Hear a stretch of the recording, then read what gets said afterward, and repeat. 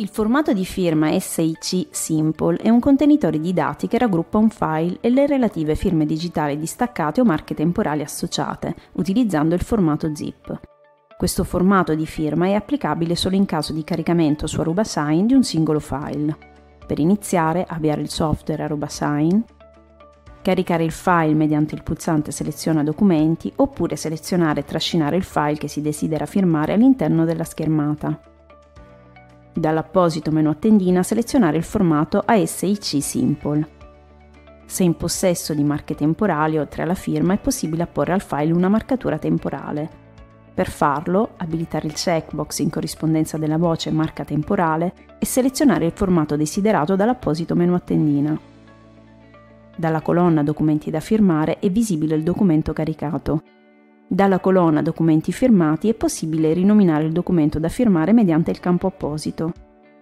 Abilitare il checkbox indicato per salvare il file nella cartella di origine oppure cliccare sul pulsante Cambia cartella per selezionare una cartella personale dove salvare il documento. Cliccare su Prosegui e firma per continuare.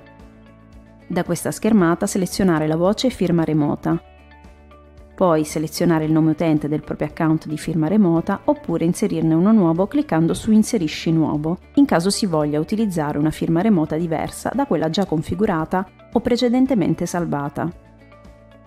Digitare la relativa password, cliccare sull'icona dell'occhio per visualizzare in chiaro la password, poi cliccare su Prosegui.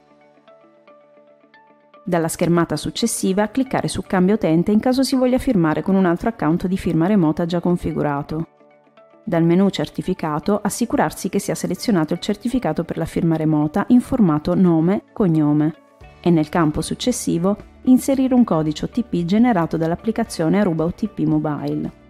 Cliccare sull'icona dell'occhio per visualizzare in chiaro il codice.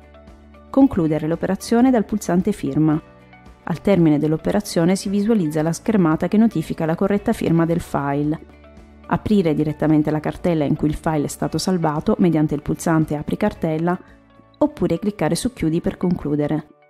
La firma ASIC Simple è stata apposta correttamente.